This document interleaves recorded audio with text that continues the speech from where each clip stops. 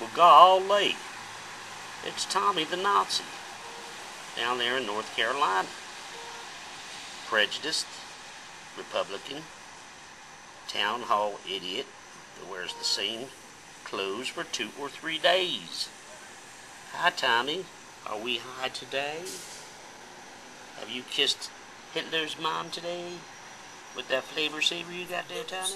The liberals come back and say, uh, there's so many white people in the uh, country that just cannot accept the fact that we have a black man as president. Black man. Well, first and foremost, we have a half black man, half white man as president. I'd vote for Lynn Swann.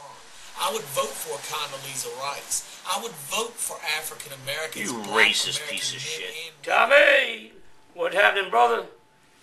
It's Bobby Bola Obama.